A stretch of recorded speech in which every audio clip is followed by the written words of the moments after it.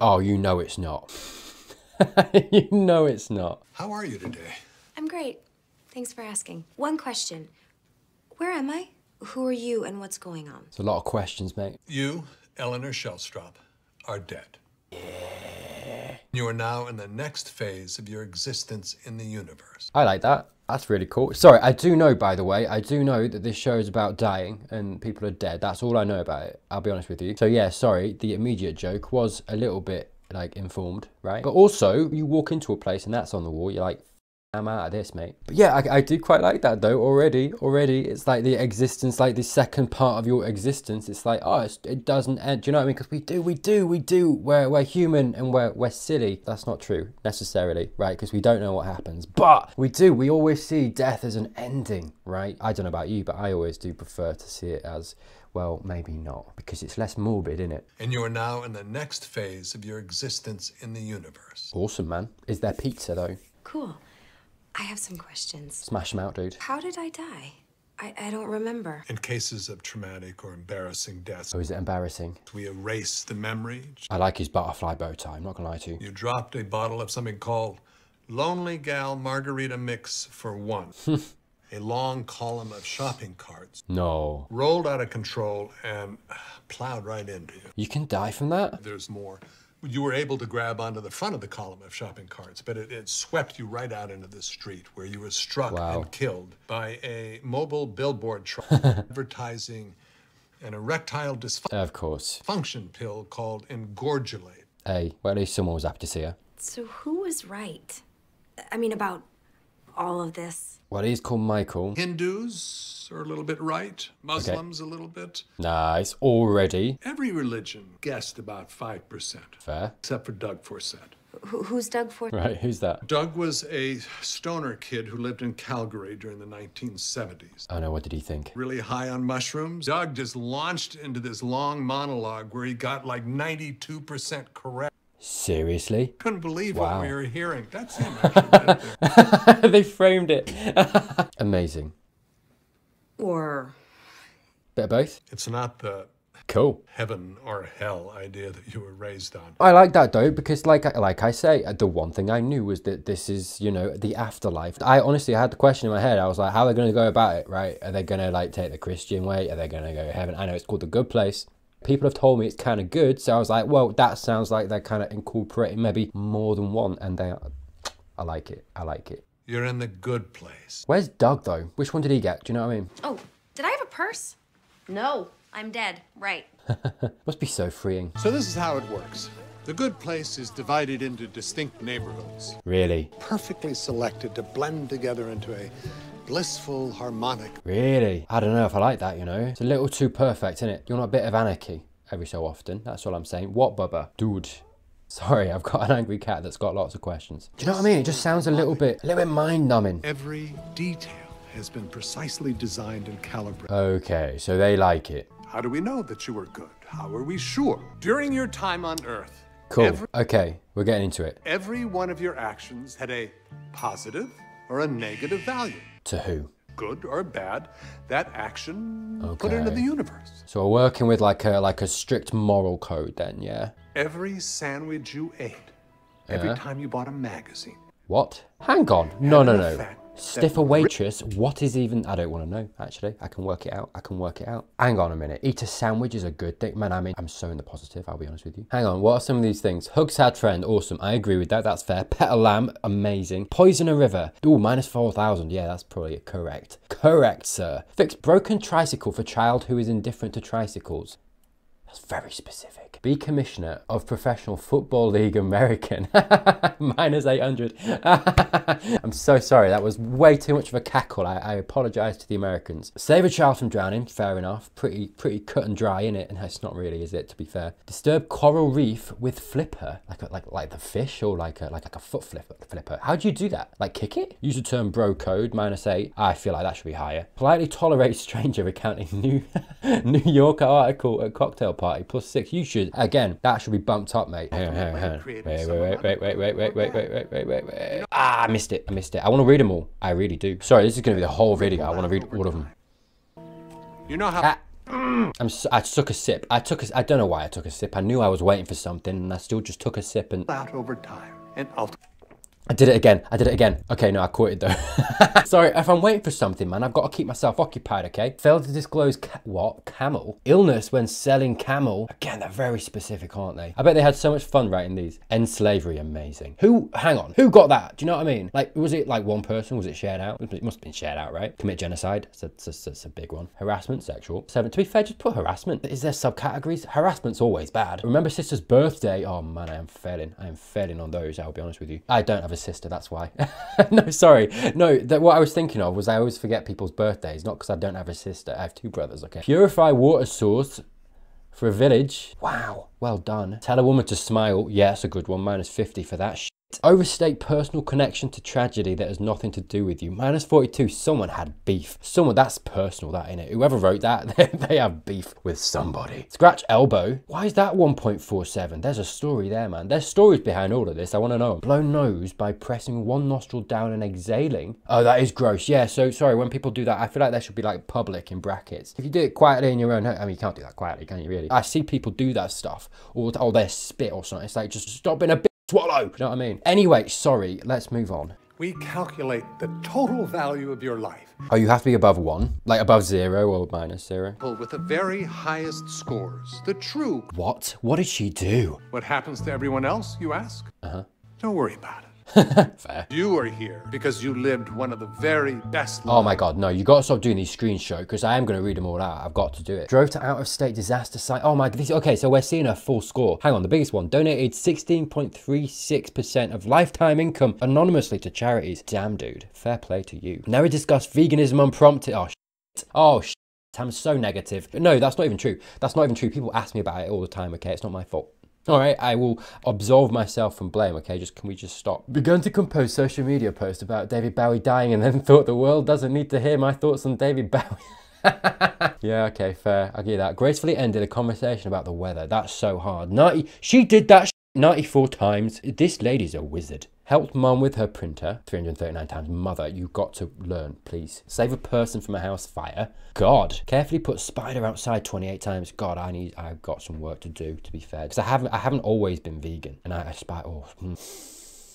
They're the devil's creature. They've done nothing to me, to be fair. Just scared me a little bit. Do you know what I mean? It's it's it's unfounded. Brought in rags to grocery store. What's oh bags? Sorry, I was like rags. Why would you bring a rag? Amazing. All right, I'm so sorry. Please don't do any more of these screens, please. Your true soulmate is here too. Are we're doing that? Are we? Okay. Soulmates are real. Right. But my point is, is that you can't ever do anything bad. Oh, no, I'm not saying bad, but you know, do they have parties and stuff? And do you know what I mean? I just feel like it's too, it's too like peaceful, and, I, and peace is good.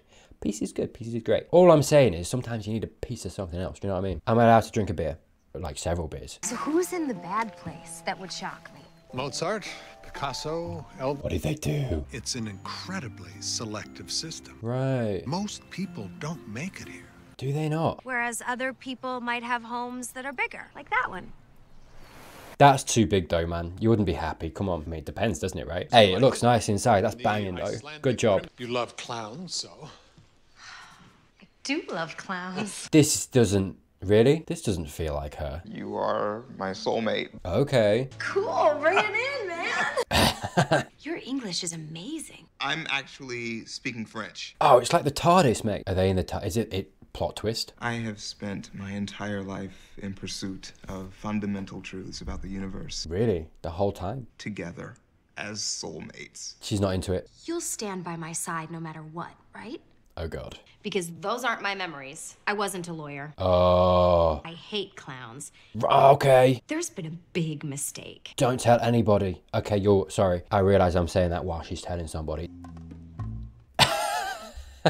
I'm pretty sure I wasn't a death row lawyer who collected clown paintings and rescued orphans. What a bizarre life. Well done though. Somebody royally forked up. Somebody forked up.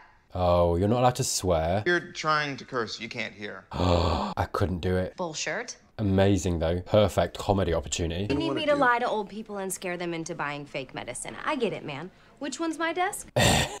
Your job was to defraud the elderly. Hey man, you don't know her circumstances. I was the top salesperson five years running. Okay, but that's worse. It's a test. Maybe if you go to Michael and you tell him the truth, Sounds fake. No way. I can't risk going to the bad place. I don't know, man. It might be better, maybe it's not actually like all that bad. right? What is the bad place like? Oh, sorry. That is the one topic I'm not allowed to tell you. Is it because it's a bit better? Like a, not not a lot, but like a little bit. Do you know what I mean? Audio clip of what is happening there right now. Okay. Well, Well, it doesn't sound awesome. it's true. It's true. Out of context, though. I'm just asking you to fudge a little bit. You must have told a few white lies. I was a professor of ethics and moral philosophy. of course he was. Hi! What have you been up to? Oh, it's Jamila. I love your house. It's just so tiny. Oh, you guys are in the big one. I love it. It's just so sweet and teensy. Just like you. Boop. Don't boop. Don't do that. No, thank you. That's fun. No way. Yeah, you gotta keep this secret, man, for as long as possible. Tell me one good thing that you did on Earth. Make it up. Man, please, one. One thing. Um, just tell me something neutral about yourself. Hi there. Do you have a second to talk about the environment? Do you have a second to eat my farts? Oh no. To be fair, right? Okay, I, I, I can't tolerate littering. I don't like it. Don't do it. It is harming the environment. Oh god, I'm this guy. Fair enough. Okay, fine, whatever. I was gonna, I was ready. I, I tell you, I, s- I promise you, I was ready to be on her side because you, like, I sometimes, like, I, I ignore all these people on the street. I get so angry. I'm like, how dare you? I have places to be. I have things to do. If I see them like looking at me and they're like, hello, sir, I'm like, no. I don't offer my farts up as an alternative. I do, like, do you know what I mean? And then she littered, dude, Eleanor. I don't remember anything specific. Wise. I might not have been a saint, but I, it's not like I killed anybody. These people might be good, but are they really that much better than me? and the other half in Saudi Arabia fighting for gay rights. Wow. Move those landmines? We will. And we dug up over a thousand. Can't give me both your kidneys, you'll die. We just met on this bus 10 minutes ago, but you seem nice. Forget it. Well, they can drink, so hey. But no, I feel like there is a through line, like a point here that she's kind of going for. Again, I gotta forget the littering, that's fair to kind of go through with what I'm about to say. But like, I do my philosophy on life, right? And like, pinch of salt, because I don't know everything. Of course, I don't. As long as you're going for your own happiness and you're not purposefully going out of your way to harm other people. And I get it, context, context, context is king. Inactivity or apathy in regard to certain things is comparable to supporting said bad thing in some contexts, right? But I do feel like, in a general sense, right, if you're just kind of living your life, mind your own business, in your own lane, you don't have to be saving orphans or going and fundraising and blah, blah, blah. If you can do that stuff, great, fine, awesome, do that stuff. Do you know what I mean? But it's like, also, everybody in life is at different, you know, levels of circumstance and privilege, and we don't all start with the same foundation either. Not being funny, if I knew, for example, that I was never going to have to want for money in my entire life, I would absolutely be giving away like 16, 20% of my life earnings to charity, do you know, because I can. Not everybody can do that. Sometimes even five pounds or whatever it might be is a huge amount of money to a certain person. So my point is, is that there is, I feel like a through line to this episode that like I do support Eleanor with, right? It's kind of like, "Ugh, come on. You don't, you shouldn't have to be that positively good to get to the good place, I feel. You can just live life and be happy and not necessarily do anything. I guess my point being that you're not necessarily a bad person or you're not a bad person if you aren't one of these people. This is actually the very first neighborhood that I have ever designed. And my boss has finally given me my first solo project. Oh, oh, I'm happy for him. Ah, you're gonna do great, man. A perfect world. I also think, by the way, as a technique to get the audience into this show, having her be this character and being more normal. Right? Being more of a, I guess, a general example of the every person, I think is a great way to get you in the show, right? I don't think everyone can necessarily compare themselves with doing work in other countries and relief work, charity work, and all this stuff. It's much more relatable as uh, an avenue for the audience into the show through the eyes and with the protagonist being someone that's more like them, someone that's normal in this very abnormal, you know, situation. I think this element of uh, levity that she's bringing, that Eleanor's bringing, and normalcy that Eleanor's bringing as well combined, do just serve to like get you as the audience like into the show in a really nice way, right? I personally find myself gravitating towards her because of that. Every single one of you is a good person. That's it for me. And I would just like to quickly say if any of you would like to play tennis. Such fun. Cheers. Condescending bench. to go upstairs real quick and steal a bunch of gold stuff. Okay, don't do that. Hello, creepy house that I hate. Okay, she can't last past like two days. Chidi. Oh, Chidi, man. Chidi. Yeah, I feel a little bit sorry for Chidi. I was an only child. My parents were divorced when I was a kid. They were both crummy people. You're a nice person, Chidi. Anaconda. Anagonye. Okay. Anagonye. I say it again? Anagonye. No, say what you said before. I did. It's not that hard. Ar grande. I'm so sorry. No, I appreciate she's drunk right now, but also I, f- I, I do despise this whole thing of like getting non-white names really wrong. They're not hard to say at all. Sorry, because I s- you see this all the time. Uh, people of color get nicknames, or it's like, oh, that's too hard. I'll call you something else. I really don't. I really find it distasteful when when any show or any media makes jokes out of that because like it does. It normalizes it, and it's like it's not hard. Like Anagonye, Anagonye. It's not hard. It just it perpetuates this idea that white people and white names are the norm and anything else is other. That's all. I say that's all like it's not a big deal. It, it, it kind of is. Well, that's terrifying. Right. I'm very curious as to who's supposed to be here. That can't be good. Uh, oh, is it all messed up because she's here? I don't know, man. This looks like a good time. Get rid of the lightning, do you know what I mean? This is all happening because of you. Well, hang on, let's not jump to conclusions. Admittedly, that's the one I jumped to, but like, come on. Hang on. Not everybody here is perfect, okay? Tahani is totally condescending. And there are a couple of, you know, chunksters. Okay, I see. No, fair enough. Sorry. I think the uh I think the name thing. She's it's clearly just trying to show that she is a bit of a bad person. okay, fair enough. Okay. I I take that on board. There are many ways to know that it was me. You don't belong here. Well, then this system sucks. One in a million gets to live in paradise and Okay, good. Yeah, ask questions. come on. I mean, I wasn't freaking Gandhi, but I was okay. Right, and that's what I was saying. I was a medium person.